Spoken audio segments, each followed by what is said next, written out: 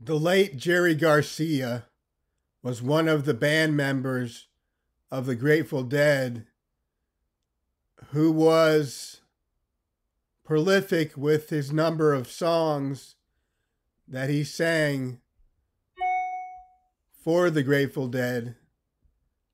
And he was a legend in his history in the Grateful Dead and I, I just wanted to mention him because a lot of people know who he was and know that Jerry Garcia was a great performer and a great musician and singer. And he could play guitar like no one else, and he could sing better than just about anyone. And there were a lot of people that went to the, his concerts and went to see the Grateful Dead solely to see Jerry Garcia perform.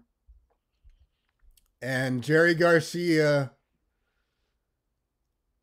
was definitely someone that I want everybody to know who he was.